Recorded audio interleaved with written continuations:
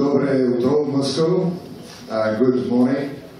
I do apologize. I don't have much uh, skills in uh, Russian, but I'll do my best. I think I have a big challenge here today because I try to be as entertaining as my friend Milan has been, but I think uh, he has put the bar very high.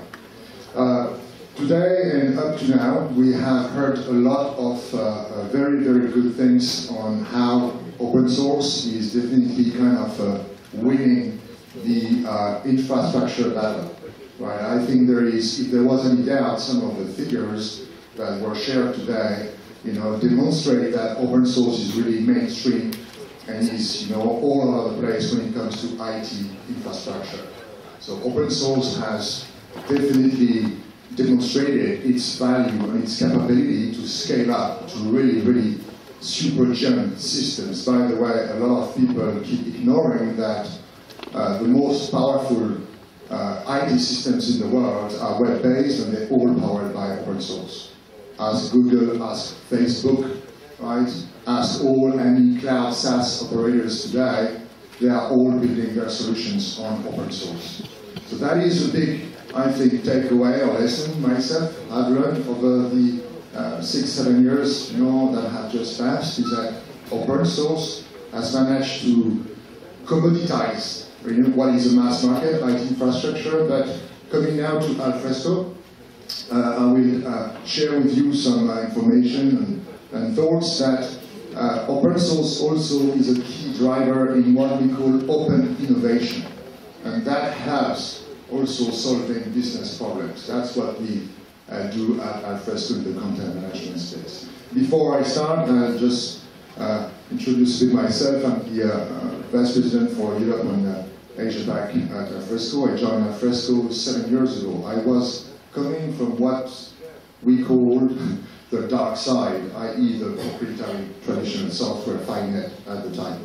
And I, uh, I was called by John Powell, the co-founder of uh, Alfresco, and started pitching, you know, what they were trying to do, etc. And I got really excited.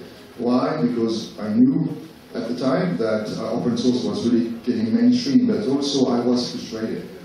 I was frustrated with the incapability uh, uh, of you know, traditional software model to keep pace with innovation, with velocity, because business is really going always faster these days, and you need to keep innovating, right, to deliver good, uh, high-value solutions for your business users as a software vendor. But the traditional software model was really trying to struggle, you know, and I was part of that, you know, because I was working for FileNet at the time before uh, it got acquired by IBM. And I was really interested with this concept of open source helping drive fast, open innovation, better solutions, right, that the traditional software will deliver. And a lot of things have changed over the last six years. When I studied at Alfresco, you know, and I've seen the Microsoft, you know, guys here, right? I'm very pleased that they're on stage in the open source event. But at the time, Ballmer was, you know, calling Linux a cancer, right? But it seems that, you know, they found some sort of a cure to that. But uh, again, you know, it's impossible to, to beat that powerful wave of commoditization through open source. And also in business now, you will see um, uh, uh, high velocity, high value delivered quickly, right, for business. So Alfresco, we are an enterprise content management software right, company. We are a company and a product together. And content, as Milan has showed, is just exploding everywhere. It's incredible. Even our brain is struggling to understand what these figures that you know Milan has shown content keeps being documents, any sort of content, right? Documents in the office documents, photos, you know, uh, images, videos, blogs, emails, etc. keeps being created at uh, incredible pace these days. Why? Because everybody has a computer. Everybody now has a mobile device. Everybody is kind of a knowledge worker in some shape or form. Uh, the studies, you know, regularly that people do on content is that in the next 12 months, there will be more content created in the world than in the whole history of mankind. That tells you something about you know, the challenges businesses and governments have to deal with in terms of how am I going to manage this proliferation of content, important documents, right, contracts, you know, personal records, HR records, etc., that have a lot of value as a business, right? Documents, you know, for projects, you know, engineering documents, etc. A lot of value for businesses, but keeps proliferating. And because of uh, the new world we live in, in terms of, you know, uh, mobile devices and uh, uh mobile workforce that is always on the go, a lot of pressure to always, you know, deliver faster things. Uh, there's new usage being, you know, uh, now impacting the content management software market. Its content documents need to be accessible from anywhere and devices. It can be an iPad, tablet, iPhone, Android, you know, from a laptop, and inside or outside the firewall. And that is really bringing a lot of challenges for IT people. Also, business users are asking, it needs to be very easy, very super easy to use. I don't have time right, to learn a new complex system. And that is bringing a lot of challenges to our space, you know, content management software Especially because there's so much content created everywhere that when you ask, and I ask often CIOs in companies, okay, so what's your kind of content management system map? And you know, when they start talking to me, what I'm visualizing is this sort of, uh, you know, London Tube Metro map. It's just a mess, right? Because content is everywhere, and it's becoming unmanageable. And it's also creating a lot of risks for companies. People are storing content in shared drives, through emails, on their personal device, in a patch of different uh, ECM systems. There can be many of these. And now worse, they also start using cloud-based file sharing sort of system like Dropbox, which is posing a big problem for corporations because they're losing complete control of content that is their property because it's business documents that their users are putting into the cloud without being authorized to do so. Why? Because it's more convenient. They gave up that, that internal system is too complex, right? Not, not efficient enough, too complex to use, so I'm using my own sort of uh, Dropbox, right, to share documents with colleagues. And this is what you end up with. I'm sure some of you have had these sort of email threads and discussions with your colleagues is this the last version? You know, I'm not too sure.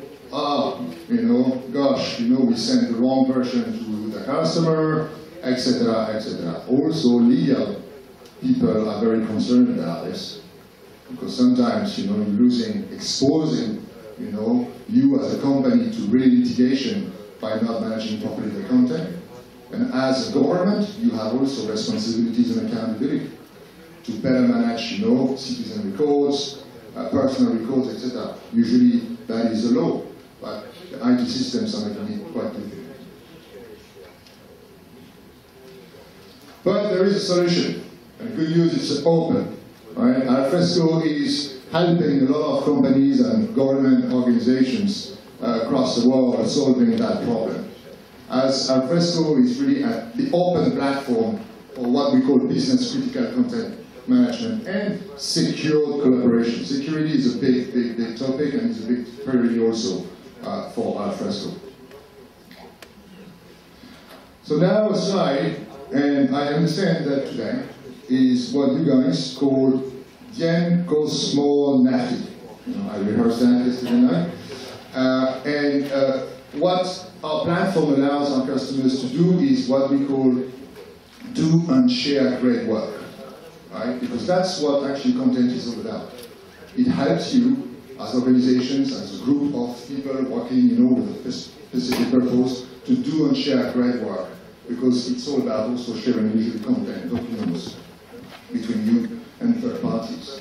Here is uh, uh, NASA that you have seen also, uh, a big, you know, Linux farm is, is a customer of uh, Alfresco. Uh, their engineering team are using Alfresco to share uh, documents, you know, especially related to their space projects, right, sending satellites and those uh, smart devices, you know, on various planets like Mars, etc. So there's a group of engineering, you know, that are in diverse, you know, sites, locations that are using Alfresco to share, right, all their uh, documents, right, and collaborate around what is quite sensitive also uh, data.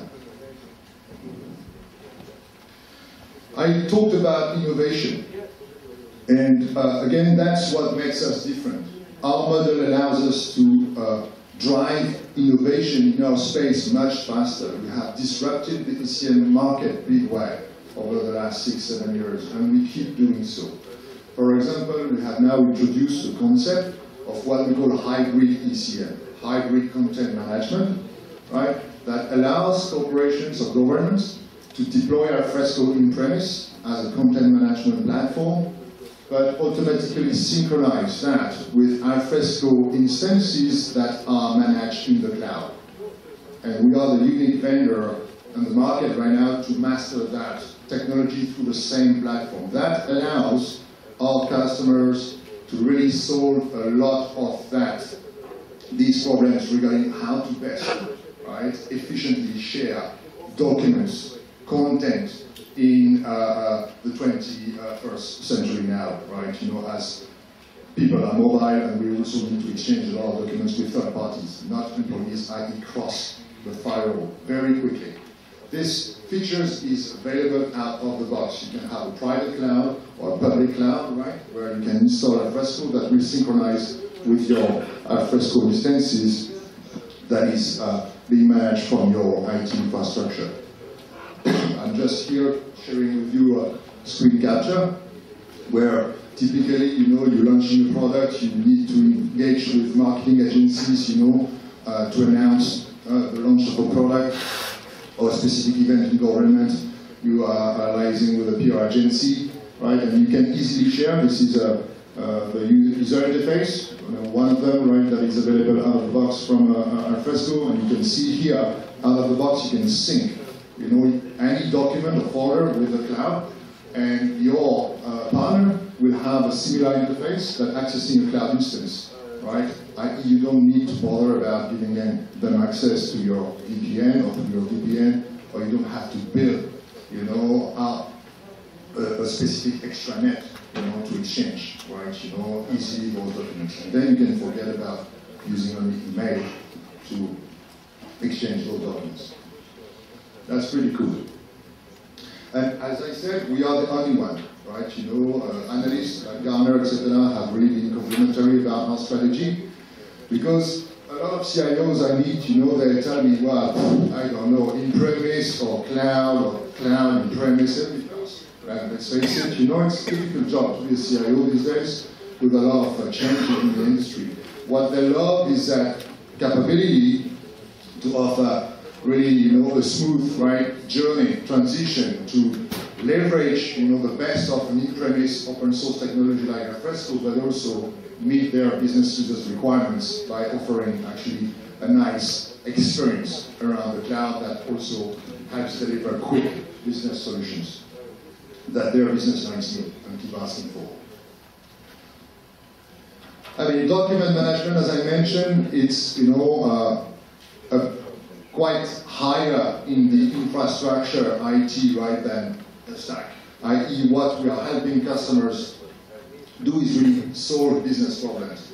Our solution is usually used uh, in the context of uh, what we call uh, business critical document processes. It can be in the bank, a loan origination, or in insurance, a contract or claim management, typically. In government, it has a lot to do with uh, uh, e-government, uh, citizens' records, things like that, but also sharing internally between various agencies, you know, documents securely. Uh, in manufacturing, it can be uh, uh, sharing or engineering documentation, right, between various teams and controlling this. So there's a lot of different use cases, but they're always tied to specific, usually business processes. Alfresco provides also a lot of workflow uh, and, and, BPM capabilities as part of the platform, and we see a lot of uh, our customers develop the concept of dog flow of uh, solutions for their business needs. And what makes us different and better than others, definitely, and again, irrespective of whether the traditional you know, enterprise software or using another model, is really the open model, right? That allows us to drive open innovation much, much faster than anybody else, you know, uh, market. And that really has been very well received by the whole market. I'll share with you uh, some of our customers and where we are, and also the size of the community we're having. But being open, contrary to what you know maybe some people could think at the beginning, allows us to deliver faster, very scalable technology, but also very secure you know, technology. We spent a, a great deal of time working on security because again, security is all about securing what is business critical content that sometimes has a lot of uh, legal value or financial value, right? Or that is protected by law. An e-citizen record, it's not supposed to be, you know, accessed by anybody else than the citizen it concerns, right? Or it relates to. So we have a lot of encryption features throughout the layers of the technology from transport layer to uh, any, for example, documents uh, that you access on a mobile device through the Alfresco app is encrypted securely, and without access to Alfresco, you can't actually access the content itself, right? So we have had a lot of uh, testing around this as well as certification in the security area because we know it's a concern, a legitimate concern for most of our customers. I'm sure it is for you in Russia. And now, quite often also, you know, we were, uh, when we started, oh yes, those guys are nice, right? You know, they know what they're doing, etc. But it's open source, it's good for small projects, right? You know, that was a bit the uh, image, you know, we, we had. Actually, what I discovered myself, right, is that at the beginning, we did think, well, we will serve mostly the low-end, mid-size sort of market. That's what we thought. But then we realized that actually our consumers, our customers, were rather very large organizations. You know, we were confident the technology would scale up to tens of thousands of users, as well as millions of documents. But now we have proven it. We have more than 2,000 customers, nearly 3,000 actually, enterprise customers. We have 70,000 community installations in the world, right? But nearly 3,000 uh, customers, more than 7 million users, and we manage more than 3, 4 now, probably 5, 6 billion you know, documents through Alfresco system in the world. And to my big surprise, most of our customers are very large, more than 1,000 employees in our organization. Why? It's because it's large organizations that have uh, the biggest content, you know, uh, challenges. You have seen that big uh, German-based ERP software logo on the Linux Penguin, you know, because they're developing their SAP solutions, right, on, on, on open source stack now. Well, actually, they're also a very big customer of uh, Alfresco, right, more than 50,000, you know, uh, uh, users deployed. Michelin as well, you know, 55,000, you know, users deployed in, in the world. Uh, Allianz is managing now probably 10, 15 million contracts documents. Uh, uh, through uh, Alfresco in their, for their back operations. So we have proved we can scale. You will sometimes hear from our dear friends competitors that well it's open source, it doesn't really scale, etc.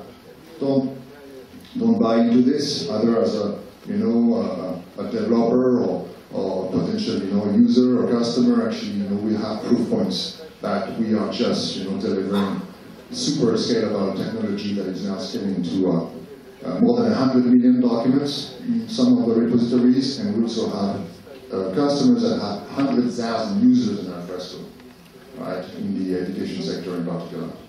So quite impressive.